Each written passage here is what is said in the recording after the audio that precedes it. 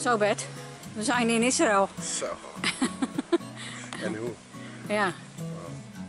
En ik weet in ieder geval dat je er erg naar uitgezien hebt. Zeker. Ik, was, ik hield het al niet droog eh, als we het over de reis alleen hadden. Dat God ons in staat stelde om dit jaar te gaan. Zo gaaf. En hoe is het geweest? Oh, nog mooier dan ik eh, van tevoren kon bedenken. Ja, super. Ik ben al twee keer eerder naar Israël geweest, maar dit was echt wel de meest eh, bijzondere keer. Oké. Met, eh, de groep en dingen die... het waren niet de, de, de standaard dingetjes die je bezocht, maar gewoon hele andere ehm, ja, plekken met heel veel kennis erachter en heel veel uitleg erbij. En het, het ging inderdaad echt heel veel in leven, alle verhalen die erbij werden verteld. Ja. Wat vond je van de reis? Gaaf, Ja? leerzaam, Ja? heel mooi. Ehm, ja, geen woorden voor eigenlijk, Nee. denk ik. En activiteiten? Perfect verdeeld. Ja. Alles eh, relaxed eigenlijk. Het is wel een avontuur, je stapt er gewoon lekker in. Eh, Ja. En dat was echt een eye-opener. Eh, er zijn nog zoveel dingen waar ik aan vastzit en die ik nog op mijn manier moet doen. Ja.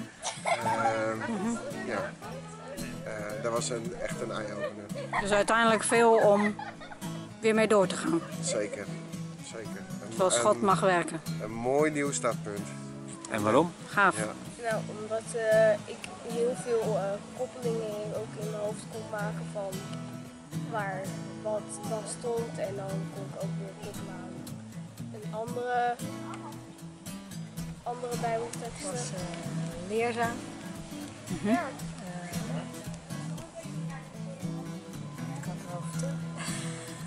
het is, eh, het was eh, zoveel indrukken. Mooi landschap. Eh, het lijkt of, of het land van de Bijbel dan nog. ja, of, of alle verhalen nog helderder naar voren komen. En De dan- Bijbel komt echt in beeld. ja. En dat, dat God nog meer, in ieder geval mijn ervaring was dat God nog meer in mij ging werken en eh, liet weten dat ik echt eh, in, in zijn woord mag wandelen. Oké.